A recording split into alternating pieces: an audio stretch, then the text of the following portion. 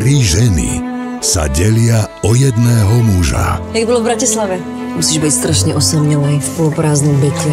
A žiadna z nich Chlap jako ty asi není volný, co? nevie celú pravdu. Prídem až zajtra, prepač.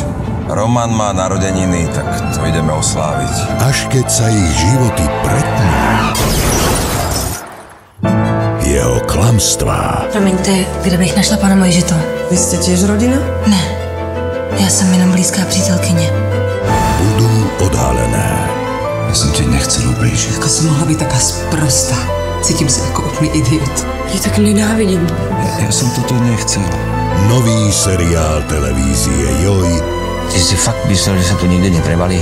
Príliš veľa lásky od 7. septembra na Jojke.